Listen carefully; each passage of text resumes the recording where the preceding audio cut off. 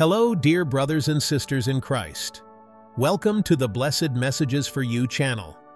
Before we begin today's message, I'd like to ask for your help in growing this ministry. If you haven't subscribed to the channel yet, please click the subscribe button right now. Also, don't forget to leave a like and share this video with friends and family. Your comments are very important to us, so don't hesitate to leave your thoughts below. Now let's dive into God's Word. Today, we're going to explore one of the most touching and profound parables in Scripture, the story of the prodigal son. This narrative, found in the Gospel of Luke chapter 15 verses 11 to 32, is a powerful testimony of God's unconditional love and the transformative nature of forgiveness. Imagine with me, a loving father, two sons, and a decision that would change their lives forever. This story is not just an ancient tale, but a mirror of our own spiritual journeys, full of lessons that resonate deeply in our hearts to this day. Let's begin our journey, examining every aspect of this extraordinary parable. Prepare your heart, for the message Jesus brings us through this story has the power to transform lives and renew hopes. The younger son, restless and eager to experience the world beyond the limits of his home, approaches his father with a surprising request. He demands his share of the inheritance, essentially declaring that he prefers his father's wealth to his presence and wisdom. Imagine the pain in that father's heart upon hearing such a request. It's as if the son were saying, Father, I'd rather you were dead, because all I want are your possessions. Surprisingly, the father in the parable doesn't reject his son's request. With a broken heart, but respecting his son's free will, he divides the property between the two sons. This action of the Father reflects how God treats us. He gives us the freedom to make our choices, even when those choices may take us away from Him. The younger son, in possession of his inheritance, wastes no time. He gathers all his belongings and sets off for a distant land. The Bible tells us that he squandered his wealth in wild living. We can imagine the scene. A naive young man, full of riches, arriving in an unknown city, ready to experience everything the world has to offer. This part of the story reminds us of how easily we can be seduced by the empty promises of the world. The Apostle John warns us in 1 John chapter 2, verses 15 to 17, Do not love the world or anything in the world. If anyone loves the world, love for the Father is not in them. For everything in the world, the lust of the flesh, the lust of the eyes, and the pride of life comes not from the Father, but from the world. The world and its desires pass away, but whoever does the will of God lives forever. The prodigal son was living the dream, or so he thought. Parties, new friends, exciting experiences. He probably felt free, finally away from his father's control. But as often happens when we move away from God, this freedom was just an illusion. Soon, reality began to set in. The money, which seemed endless, began to run out. The friends, who were so numerous in times of abundance, disappeared when resources were exhausted. And then, as if the situation couldn't get worse, there was a severe famine in that whole country. But it's in this moment of absolute despair that something wonderful happens. The Bible tells us that the son came to his senses. This phrase is deeply significant. It suggests a moment of clarity, an awakening to the reality of his situation. In this moment of lucidity, he remembers his father's kindness. He remembers how even his father's hired servants had food to spare while he was starving to death. And then, he makes a decision that will change the course of his life. He decided to go back home. This decision to return is a beautiful example of repentance. And then, he makes a decision that will change the course of his life. He decided to go back home. This decision to return is a beautiful example of repentance. Repentance is not just feeling bad about what we've done, but it's a change of mind and direction. It's recognizing that we were going the wrong way and deciding to turn back to God. The prodigal son not only decides to return, but he prepares a confession speech. Father, I have sinned against heaven and against you. I am no longer worthy to be called your son. Make me like one of your hired servants. He acknowledges his guilt, doesn't try to justify his actions, and is willing to accept a servant's position in his father's house. This attitude of humility and repentance is exactly what God looks for in us when we stray from Him. As Psalm 51 verse 17 says, My sacrifice, O God, is a broken spirit. A broken and contrite heart you, God, will not despise. Now, we come to the crucial point of the story, the moment that reveals the Father's heart, and by extension, God's heart. The Bible tells us, but while he was still a long way off, his father saw him and was filled with compassion for him. He ran to his son, threw his arms around him, and kissed him. This scene is breathtaking. The father, who represents God in our parable, is not sitting at home, bitter and resentful. He's not waiting to reprimand his rebellious son. No, he's watching, waiting, longing for the return of his lost son and when he sees his son in the distance, he doesn't wait for the son to come to him. He runs. In the culture of the time, it was considered undignified for a respectable man to run. But this father's love overcomes any consideration of dignity or decorum. He runs to meet his son, embraces him, and kisses him. This powerful image shows us God's heart towards us. No matter how far we've gone, no matter how much we've sinned, God is always waiting, always ready to receive us back with love and joy. As Lamentations chapter 3 verses 22 to 23 say, Because of the Lord's great love we are not consumed, for his compassions never fail. They are new every morning. Great is your faithfulness. But Jesus adds another element to the parable, the older son. When the older son returns from the field and hears the music and dancing, he's confused. Upon discovering that his brother has returned and that his father is throwing a party to celebrate, he becomes furious. He refuses to join the celebration. The father, once again demonstrating his tireless love, goes out to plead with the older son to join the celebration.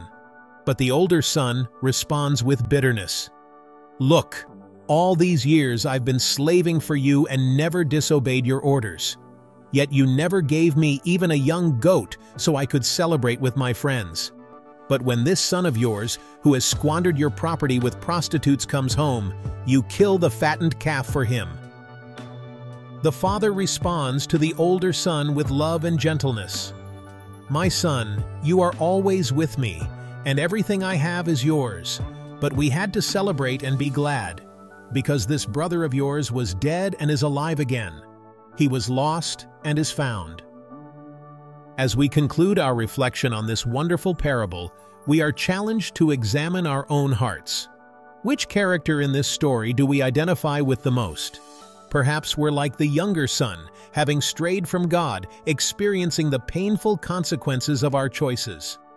If this is the case, the message for us is clear. No matter how far we've gone, the Father is waiting with open arms to receive us back. All we need to do is come to our senses, recognize our need for God, and return to Him with a repentant heart. Or maybe we identify more with the older son, fulfilling our religious duties, but with a heart full of resentment and self-righteousness. If this is the case, we are challenged to examine our attitude towards God's grace. We are called to rejoice when others are restored, to celebrate God's love and mercy, even when it challenges our sense of justice. And of course, we are all called to reflect the heart of the Father in this story, the heart of God. We are called to love unconditionally, to forgive generously, to actively seek reconciliation with those who are lost. May we, like the Apostle Paul, fully embrace this truth. But God demonstrates His own love for us in this. While we were still sinners, Christ died for us. Romans 5 8. Dear brothers and sisters, may the story of the prodigal son not just be a parable we hear, but a reality we live. May we daily experience the Father's unconditional love, whether in moments when we feel lost and in need of His grace, or in moments when we are called to extend that same grace to others. Remember, God's heart is always open to receive us. As the prophet Joel says, Rend your heart and not your garments. Return to the Lord your God, for he is gracious and compassionate, slow to anger and abounding in love, and he relents from sending calamity. Joel 2:13. This parable teaches us that genuine repentance always leads to restoration. God not only forgives us, but he restores us completely.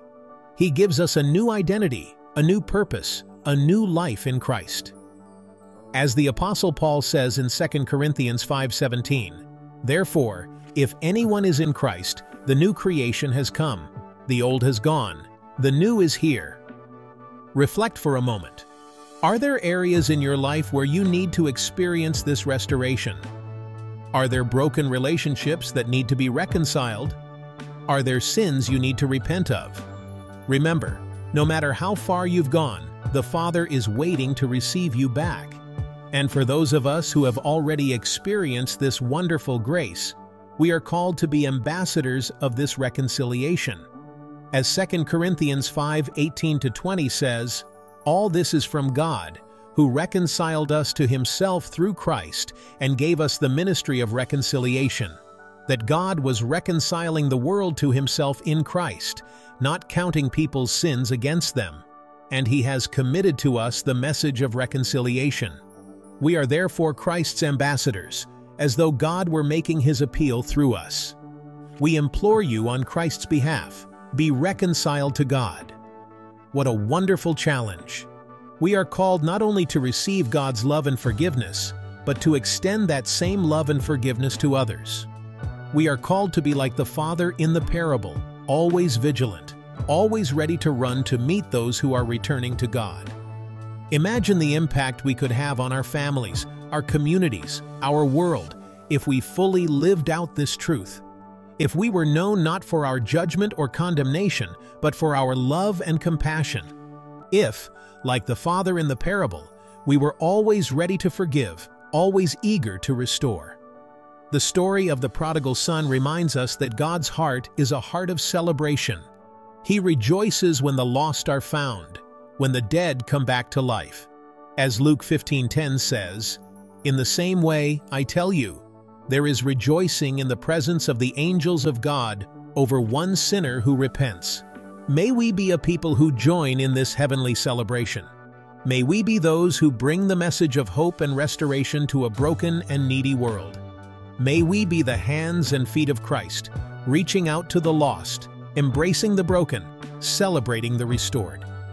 And remember, no matter where you are in your spiritual journey, whether you're the prodigal son returning home, the older son struggling with resentment, or the father patiently waiting, God has a word for you today.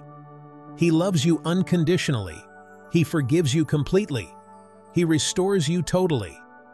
May we all experience the depth of the Father's love, the breadth of His grace, and the joy of His celebration. May we live our lives as a response to this wonderful love, extending to others the same grace we have received. Dear brothers and sisters, as we conclude our reflection on this powerful parable, I would like to leave you with the words of the Apostle Paul in Ephesians 3 17 19, so that Christ may dwell in your hearts through faith. And I pray that you, being rooted and established in love, may have power, together with all the Lord's holy people, to grasp how wide and long and high and deep is the love of Christ, and to know this love that surpasses knowledge, that you may be filled to the measure of all the fullness of God. May the love of the Father, revealed so beautifully in the parable of the prodigal son, be a living reality in our lives. May we live each day in the certainty of that love, in the joy of that forgiveness, and in the mission of sharing this good news with the world around us. Before we say goodbye, I'd like to thank all of you for taking the time to reflect with me on this rich parable. If this message touched your heart in any way, please don't hesitate to share it with others who might be blessed by it. Remember to subscribe to our Blessed Messages for You channel to receive more biblical reflections like this one. Your support helps us continue to bring God's Word to more people. Leave a like on this video if it was meaningful to you and share your thoughts in the comments below. Your perspectives and experiences can be a blessing to other members of our community. May the grace of our Lord Jesus Christ, the love of God the Father, and the fellowship of the Holy Spirit be with you all. Until the next video, stay in God's peace and love.